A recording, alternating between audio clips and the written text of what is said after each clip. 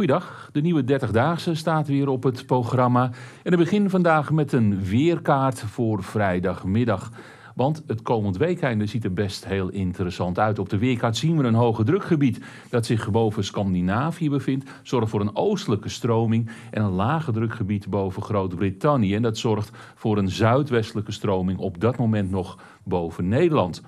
En met die zuidwestelijke stroming wordt zachte lucht aangevoerd. En met die oostelijke stroming wordt koude lucht aangevoerd. En dat betekent dat op die scheidingslijn er over het algemeen actief weer aan de hand is. En we kunnen dat ook wel laten zien, want we zien dat er in het weekeinde een storing zo'n beetje boven het zuiden van Nederland tot ontwikkeling gaat komen. En die storing die gaat op zondag uiteindelijk weer passeren richting het noordwesten. En dat kan zelfs dan wat winterse neerslag opleveren in het noordoosten en oosten van het land, omdat de temperatuur dit weekeinde erg laag is. Het uh, wordt een graadje of 2, 3 zaterdag overdag hoog uit. En daarbij staat er ook een forse oostenwind. En die zorgt ervoor dat het zeer koud gaat aanvoelen. Hele lage temperaturen dus. In de nachten ligt er misschien wel matige vorst ook in de nacht van zaterdag of zondag. En dan krijg je toch echt wel even het gevoel dat het weer een beetje winter aan het worden is. Alleen ja, die koude lucht vanuit het oosten die wordt ook weer verdrongen. En dat gebeurt dus zondag in de loop van de dag. Kan wel tot in de avond duren hoor. Maar het kan wel eventjes gaan sneeuwen zoals gezegd in het noordoosten van het land. En daarna dan komt die west-zuidwestelijke stroming weer terug. De pressies van de oceaan krijgen de overhand. Vaak die zuidwestelijke stroming met relatief zachte lucht. En dan is er van winter weer helemaal geen sprake. En deze animatie loopt door tot ver in volgende week, tot aan het weekeinde bijna. En dan zien we dat er een enorm lage drukgebied boven Ierland ligt. En dat zorgt dan ook nog steeds voor onbestendig weer. En zoals gezegd, winterweer is dan weer ver te zoeken. In de pluim kunnen we dat ook best wel mooi zien voor de komende twee weken. We zien de kou op zaterdag en zondag. Dit is voor het midden van het land. In het noorden is het nog wat kouder. En na zondag gaat die temperatuur dan weer omhoog richting waardes. Nou, rond de 10 graden is gewoon weer ronduit zacht. Maar die 10 graden die blijft er dan in. En de kans op vorst die wordt weer heel erg klein. En dit is nou typisch zo'n voorbeeld. Als we dan het over de 30-daagse weersverwachting hebben. Waarin we naar weken kijken en trends aangeven.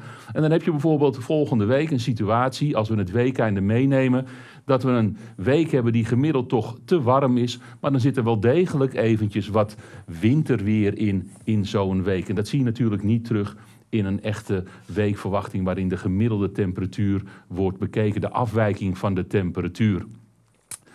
Laten we eens gaan kijken naar de 30-daagse kaarten zoals we die u altijd voortoveren. 21 november tot en met 28 november, dat is volgende week. Dan zien we dat de luchtdrukafwijking heel laag is hier boven de oceaan. Nou, dat past ook helemaal in het beeld van de weerkaarten die ik liet zien. Een westelijke stroming, hoge druk boven Scandinavië, maar dat wordt eigenlijk weer weggedrukt. En dit betekent gewoon weer een wisselvallig weerpatroon met hoge temperaturen voor de tijd van het jaar. De week daarna, 28 november, 5 december, zien we dat dat lage drukgebied eigenlijk nog steeds wel aanwezig is, maar wel minder diep. En juist de hoge druk gaat wat opbouwen. En langzaam maar zeker krijgt dat ook wat meer invloed op ons weer. Zo lijkt het te gaan worden. Temperaturen voor volgende week die zijn natuurlijk aan de hoge kant met die zuidwestelijke stroming. En we zien dan ook een afwijking van 1 tot 3 graden ten opzichte van normaal in deze tijd van het jaar. En ook de week daarna, 28 november tot en met 5 december, is het in onze omgeving nog steeds wat zachter dan gebruikelijk. Opvallend ook hoe het zacht het zal zijn in Scandinavië volgens deze verwachting. Grote afwijking in de temperatuur.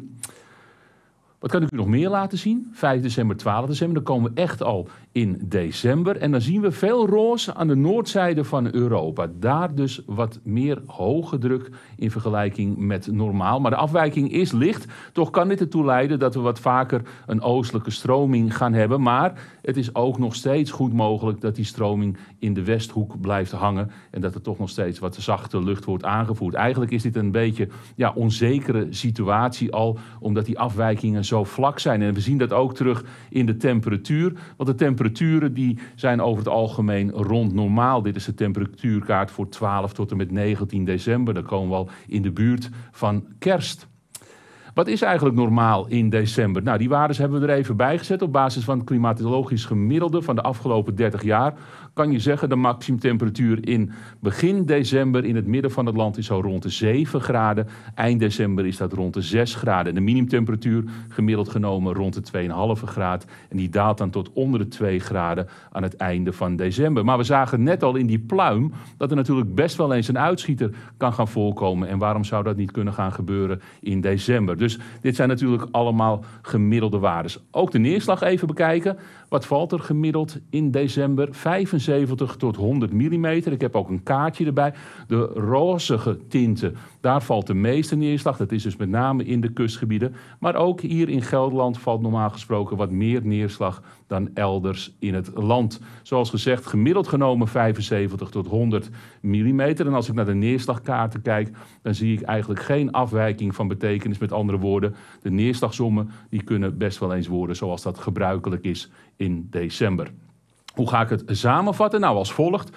Een wisselvallige periode, zeker de komende anderhalf tot twee weken is dat het geval. Duidelijk die westcirculatie die erin zit. December laat nu in de weerkaarten normale waarden zien. Dus het is een gewoon een gemiddelde december. En dan kan het best wel een beetje alle kanten op. Met soms temperaturen ruim boven normaal. Maar af en toe een koude nacht, dat is natuurlijk ook goed mogelijk. Het weer kan al met al ook flink variëren. En dat komt omdat het nog niet heel duidelijk een stromingspatroon is. Met andere woorden, we zien wel wat hoge drukgebieden in het noorden. Wat hoge druk invloeden in het noorden. Maar die zijn zwakjes. En ik kan me goed voorstellen dat die stroming dan toch af en toe naar het west-zuidwesten draait. En dan heb je een wisselvallig weerbeeld. En dan heb ik natuurlijk al heel vaak deze periode de vraag gehad: krijgen we een witte kerst? Nou, dat is heel simpel. Dat kan ik u nog niet vertellen. Ook dan moet ik me aan, aan statistieken gaan vasthouden. Een witte kerst, de kans daarop in Nederland is zo'n 7%. En veel meer kan ik daar nu nog niet over zeggen. Nog fijne dag.